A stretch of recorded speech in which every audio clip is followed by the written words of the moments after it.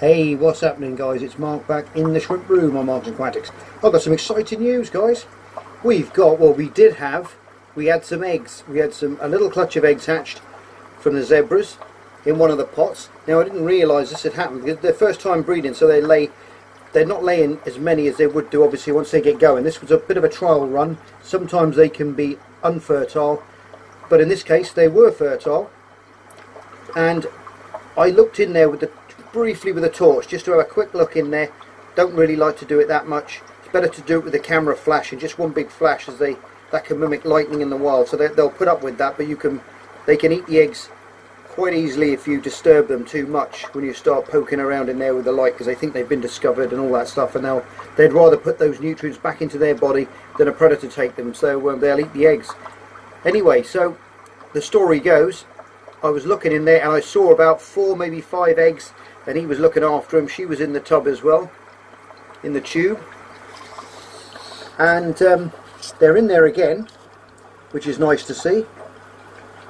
And then I came, I came yesterday. No, sorry, it was the day before yesterday. I came into the shrimp room here, had a look around, really excited to see if they were still there. And they'd gone, and I was like, oh no. So I think my torch may have may have just just discouraged them a bit and they got a bit spooked and maybe they because but all of a sudden then one egg popped out from the hide. And I had a look at it and I looked at it and it was actually had a little wriggler on there. So he they had them in there longer than I thought. So they had just probably hatched and he panicked and he probably ate them and there was one left. And I can show you because I've saved this little guy. And if we go up here look at that. Finning away. A little tiny baby zebra pleco and I could not be happier. I really couldn't. I've been after breeding these ever since I was a little nipper and I finally got some and I've bred I don't care if it's one or a hundred it makes no difference to me. We've done it. We've got a baby out and touchwood now he's going to survive. I don't know if I can get you any closer. It just goes a little bit out of focus but you can see him. He's got his egg sac still very very actively swimming away. I tried to put him back into the pot but they wouldn't it, they just wafting their fins about and they just pushed him back out again. So I've um, I put him in this little this little holder now on the top my old GoPro lid and I've just clamped that on there. And it's got some very fine holes in it which let the air and I'm doing a, I'm doing like 50 percent water change from in and out of the tank two or three times a day just to refresh that water constantly. And he seems to be doing well. I'm putting on quite a lot of weight quite quickly so that egg sac was is literally shrunk by half since he's been in there. So he seems to be doing well. Anyway guys, that's amazing news. I'm so happy about that. Really, really am. We've got a baby on the go. They're in their pot yet again. I'm not going to put any lamps on. I'm not going to do anything now because they may... I've just put a heap of bloodworm in there for them to eat. That'll condition them up ready to breed again.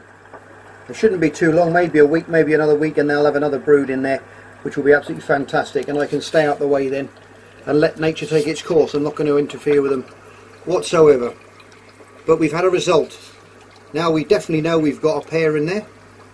And so if she likes now, she can skip, she can lay some eggs in there. As we know, the males look after the babies. And um, so she can come from that pot now into next door and into one of the other guys who lives over there. You see all the bloodworm on the floor which the shrimp happily like picking up as well. Sorry about the glare guys, but this room is murder for glare. It really is. But that's something that we've got to put up with here, sadly. So there you go. There's um, we have a result. Yes, guys, look at that. Baby, baby zebra pleco L046 keep on finning little guy and stay strong and we'll have you in this tank and we'll grow you up. There he goes he's off for a little swim around the bottom there. It's amazing how um, it really is amazing how adapt these little guys are. As soon as they hatch out as soon as they get their tails that little engine starts up that tail starts going. And by wriggling that tail they're building muscle from that yolk sac and all those little nutrients which are packed into there in the egg and they're utilising that. So the more exercise they do, the bigger and the quicker they grow. Fantastic stuff, really is. Super excited, yes! Right, I think we'll leave these guys to it. We'll leave little man up here, or little girl. Just giving her another little water change as well. She's waving goodbye. There you go. Bye-bye. We'll see you again next time, and hopefully you'll have grown a bit more. If you're new to the channel, guys, hit that subscribe button and the old notification bell for up and coming videos. And you won't miss any that way. And we'd love to have you on board. We've got a great little community here. Lots of you are chatting away, and it's fantastic.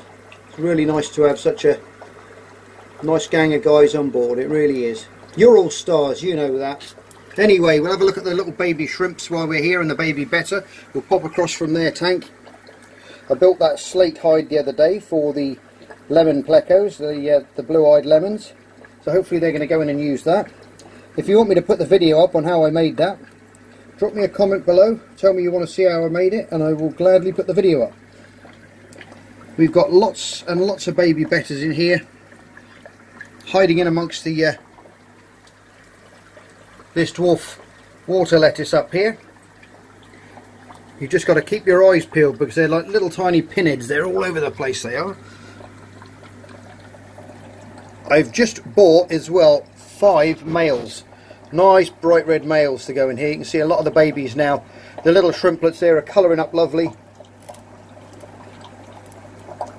Which is nice to see and everyone's putting on weight. I've been putting in the Genchem Polites and the Bacteria as well which is all great little cultures and bacterias and things in there which give them a good old gut kick start which really does save a lot of your shrimplets, it really does. That goes for all types of shrimp. Everything's looking healthy and green.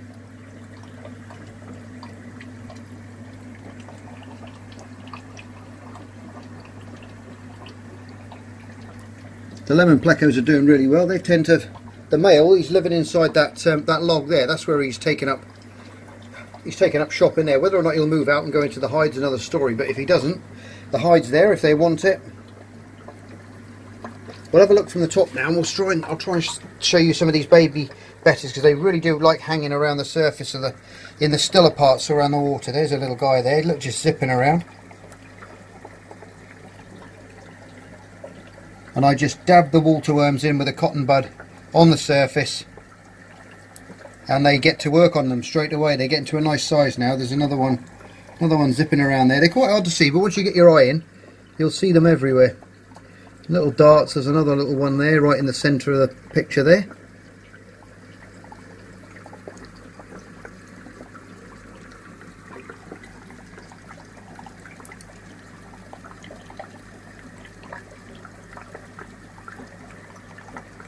That dwarf lettuce is it's amazing stuff.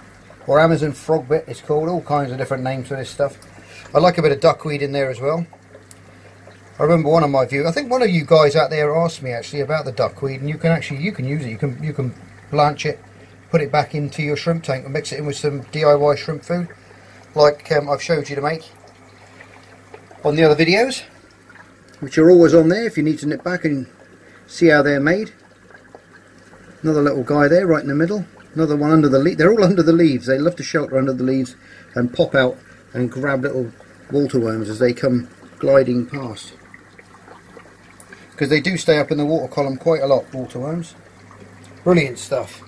A nice little cherry there, little baby cherry shrimp shrimplet there, right on the surface. Look. In a bit of that riccia. But going back downstairs, yeah, I put six males in here. We got a lot of saddled females now. You can see, you can see, oh, maybe not. You can see her at the back. And now I want to film one.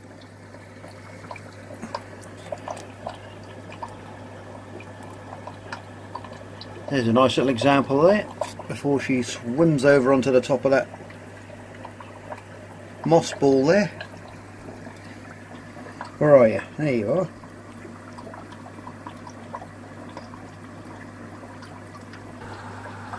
Another one of the baby bettas there, just swimming around in the roots. You can see the little stomachs there, stuffed with water worms.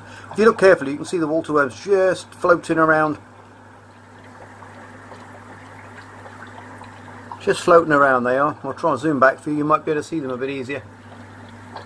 But I put them in at about 8 o'clock this morning and it's 20 past 12 now. You can see them all in amongst the roots. There's quite a few in here now. I couldn't hazard a guess at how many, but we'll soon know as they get as they start growing. And then we're going to have to thin them out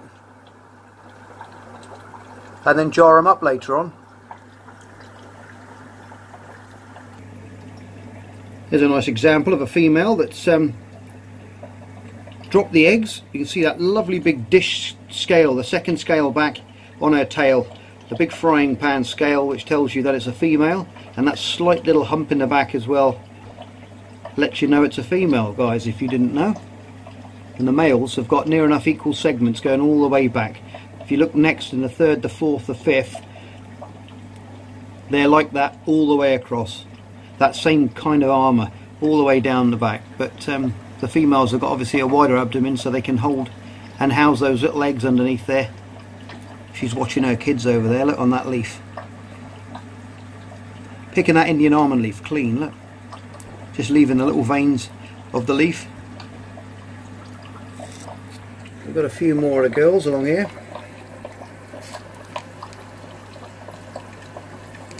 I love watching them bulldoze away Just trying to hold this camera steady. That's better.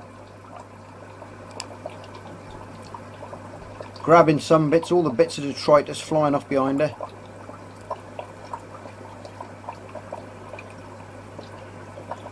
But yes, hopefully the males now will get to work and we'll have a lot more of these little guys coming on. I know a few of you have been asking me if I've got any shrimp for sale at the moment.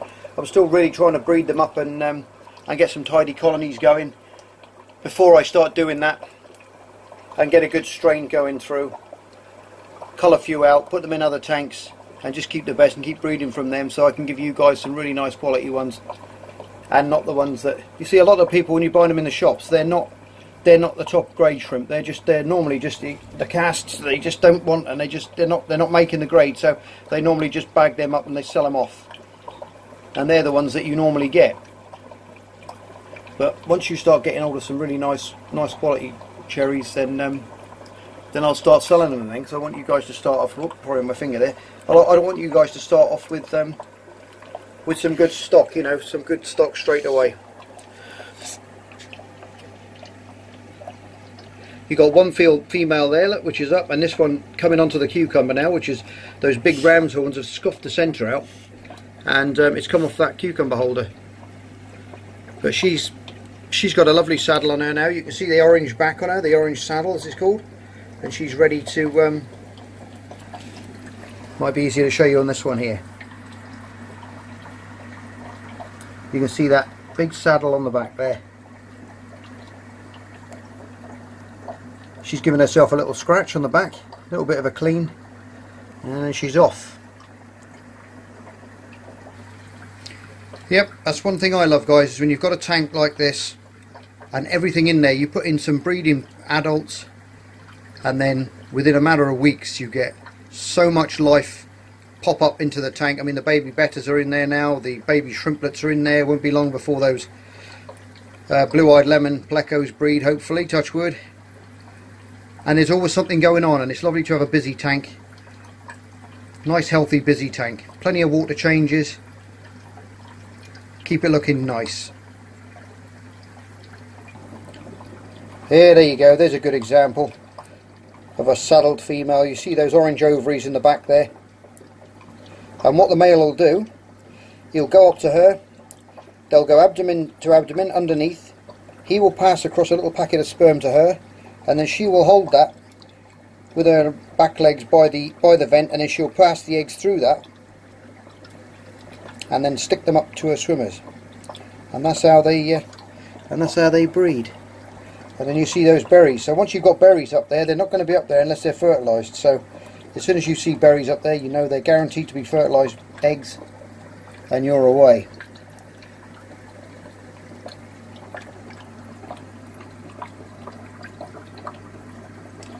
another couple of months this tank is going to look like a cherry storm. There's going to be that many in there when every one of these babies gets to the size of an adult.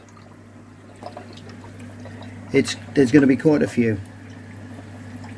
And they are prolific breeders, guys. So if you're new to uh, shrimp keeping hobby, cherries are amazing ones to start with because you can go to your local shops if you're lucky. You can buy some with berries on already.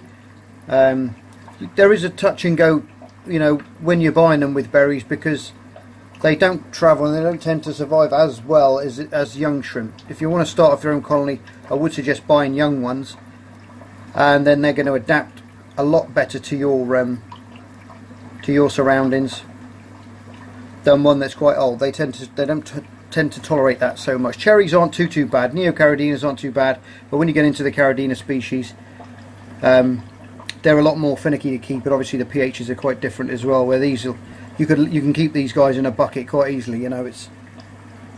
I don't mean that literally, but you know it's just a it's just a term that you they're, they're very very easy to keep. So they're really good ones for you to start. And you've got the yellow sakuras like we've got in the uh, workshop. You've got the velvet, you've got the blues, you've got oh, there's so many different types. Pumpkins. There is some absolutely stunning colours, there really is. But starting off with the cherries is good. Breed a few, sell a few back to your shop or get credit on them. And then you can get yourself some different ones then.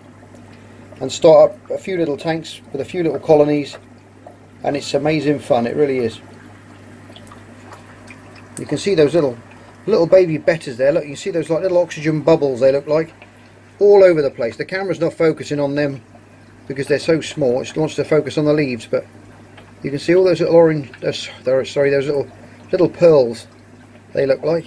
I know one up there is a snail, but most of them are little baby bettas. They're just sat there waiting for their prey to drift past, and they leap out and grab it.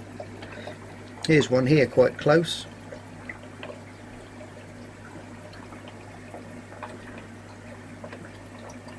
Or is it? There's one in the background. There was one right in the foreground just then. I thought I could show you, but oh, there he is. There's a couple of them there, I think. But everything's healthy. I think I'm going to be back on the tools next, guys. I've had a bit of a break from the DIY stuff. I know a couple of you have been saying you're um, you're not doing as many DIY builds now, but it's it's been nice to have a little bit of this and a little bit of a break so I had a bit of a mission on DIY builds. I love building stuff as you know. And um, I got some other projects in the pipeline for you guys to see. A lot more how-tos, all that kind of stuff. If you up and uh, up and coming aquarists.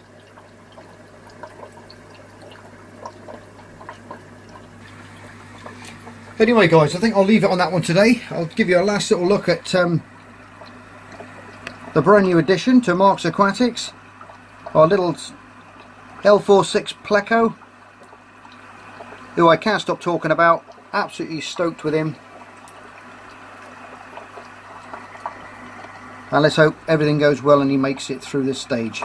Anyway guys, as always your stars, love you loads, take care of yourselves, and I'll see you on the next episode of Mark's Aquatics. Bye for now.